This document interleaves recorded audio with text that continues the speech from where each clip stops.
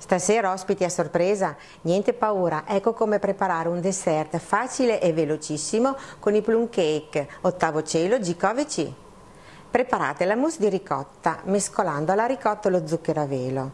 Aggiungete una puntina di cannella in polvere, la scorza grattugiata di un limone, mescolate poi unite la panna montata e mettete in frigo. Sbucciate e tagliate a pezzetti la pera Cuocetelo in padella con un poco di zucchero.